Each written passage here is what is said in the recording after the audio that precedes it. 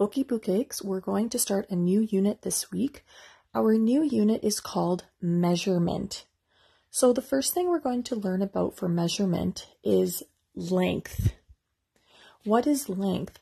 Length is how long something is. So when you measure length, you always start from one end and you go all the way across until you get to the other end.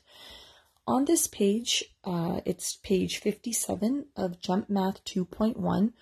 What you need to do is you need to color, so it says color the longer pencil. So you need to measure from one end, go all the way across, and then check out the next pencil, start at one end and go all the way across, and tell me which of those pencils is longer. If you're having a hard time figuring out which of the pencils is longer, I have a trick that you can use. So you can actually grab a piece of paper and cut a little strip. Something like this. And what I like to do is I like to uh, put my piece of paper here. So maybe I'll do this one. Start at the one end, put my line up my paper with the tip of the pencil there, go all the way across. And right here at the end, I'm going to make a little line.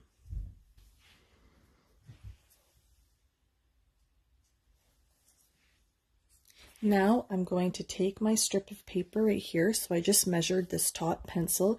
It goes from here all the way to this black line. I'm going to line it up with this second pencil and see if it's longer or shorter. So here we go. I'm going to put this right here at the tip. I'm going to go all the way across and this one is over here. So now I know that this was the first pencil that I measured and this was the second pencil I measured.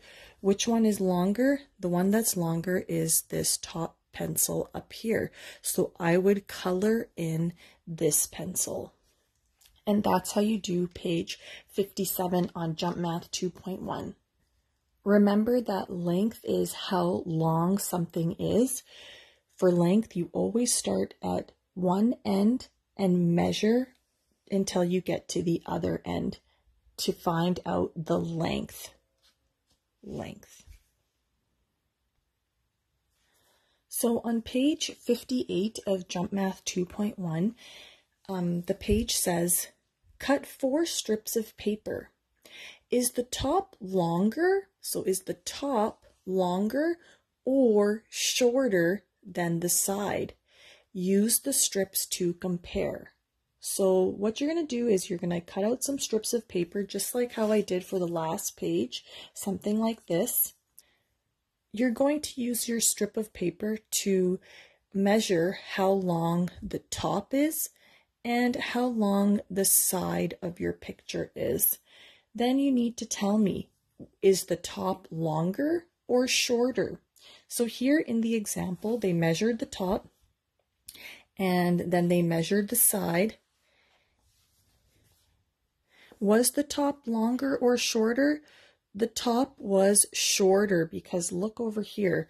This is where the line was for the top, but there's all this extra space still here. So that means that the top is shorter than the side.